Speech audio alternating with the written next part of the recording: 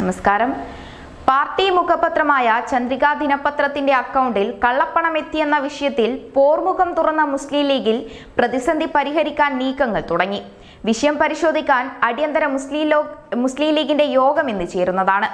വിഷയത്തിൽ നേരിട്ടിടപെടാൻ മുതിർന്ന നേതാക്കൾ തന്നെ ഇന്ന് മലപ്പുറത്തെത്തും. വിവാദത്തിൽ ഹൈദരലി ശിഹാബ് തങ്ങളുടെ മകൻ പി കെ കുഞ്ഞാലിക്കുട്ടിക്കെതിരെ പരസ്യ വിമർശനവുമായി രംഗത്ത് വന്നതിന് പിന്നാലെ നേതൃത്വത്തിന്റെ ഇടപെടലിന് വേഗം കൂടിയത്.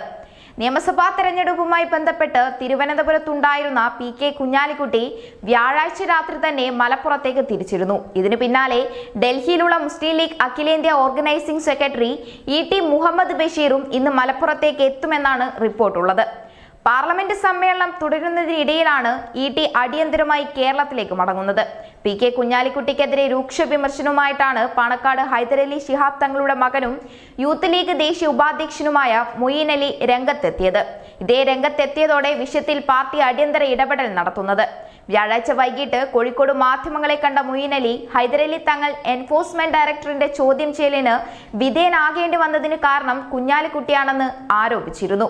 അതേസമയം കെ ടി ജലീൽ തുറന്നുവിട്ട കള്ളപ്പണ വിവാദം മുസ്ലിം ലീഗിൽ ഭിന്നത ഉണ്ടാക്കിയതിന്റെ തെളിവായാണ് മൊയ്യീൻ അലിയുടെ രംഗപ്രവേശനത്തെ കണക്കാക്കുന്നത്. പാർട്ടിയിൽ കുഞ്ഞാലിക്കുട്ടി വിരുദ്ധ പക്ഷത്തിന്റെ പിന്തുണയും മൊയ്യീൻ അലിക്ക് ഉണ്ടെന്നാണ് വിലയിരുത്തൽ. ഇപ്പോൾ ഈ സാഹചര്യത്തിൽ വിവാദം കൂടുതൽ വഷളാവാതിരിക്കാനാണ് പാർട്ടി നേതൃത്വം ഇടപെടുന്നത്.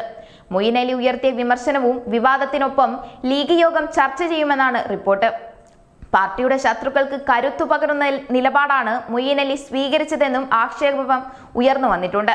ആ സാഹചര്യത്തിൽ അദ്ദേഹത്തിനെതിരെ നടപടി വേണമെന്ന ആവശ്യവും യോഗത്തിൽ ഉയരും. ഇതിനായി ഹൈദരലി ശിഹാബ് തങ്ങളുടെ അനുമതി തേടാനും നീക്കമുണ്ട്.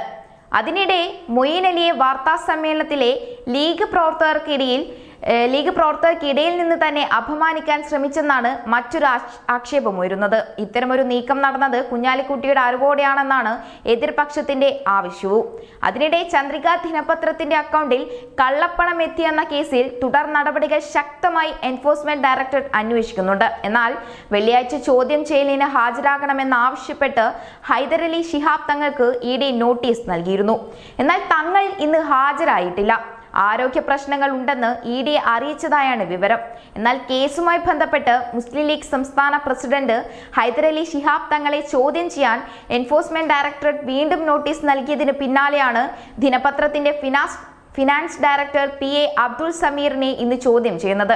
ദിനപത്രത്തിന്റെ അക്കൗണ്ടിലേക്ക് പത്ത് കോടി രൂപ എത്തിയതിലാണ് ചോദ്യം ചെയ്യുന്നത്. അതേസമയം പാലാരിവട്ടം പാലം അഴിമതിയിലൂടെ സമ്പാദിച്ച പണം മുൻമന്ത്രി വി കെ ഇബ്രാഹിം കുഞ്ഞിന് അടക്കമുള്ള ലീഗ് മുഖപത്രി അക്കൗണ്ടിൽ ചന്ദ്രികയിൽ നിക്ഷേപിച്ചതായും വിവരങ്ങൾ ലഭിച്ചിട്ടുണ്ട്. ആയിരത്തി അഞ്ഞൂറ് രൂപ നോട്ടുകൾ അസാധുവാക്കിയ കാലത്ത് രണ്ടായിരത്തി പതിനാറിലാണ് ഇത്തരമൊരു സംഭവം അരങ്ങേറിയത്. പഞ്ചാബ് നാഷണൽ ബാങ്കിന്റെ മാർക്കറ്റ് റോഡ് ബ്രാഞ്ചിലെ അക്കൗണ്ടിൽ പത്ത് കോടി രൂപ നിക്ഷേപിച്ചതായാണ് കേസിന് ആധാരമായിട്ടുള്ളതും.